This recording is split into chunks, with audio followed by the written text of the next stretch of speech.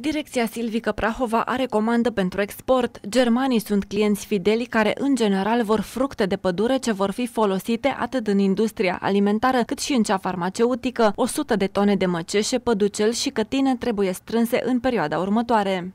Aceasta este perioada optimă pentru recoltarea fructelor de pădure.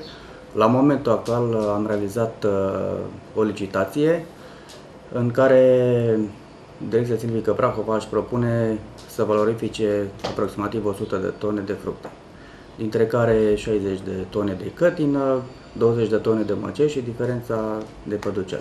Fructele de pădure sunt achiziționate în general de la persoane fizice. Cele mai multe se găsesc în Zonele cu preponderență sunt în uh, zonele de câmpie și de la Berbila, ca și ocol silvic, ocolul silvic Ploiești, ocolul silvic Bălenii de Munte. În fiecare an, Direcția Silvică Prahova a trimis în străinătate fructe de pădure.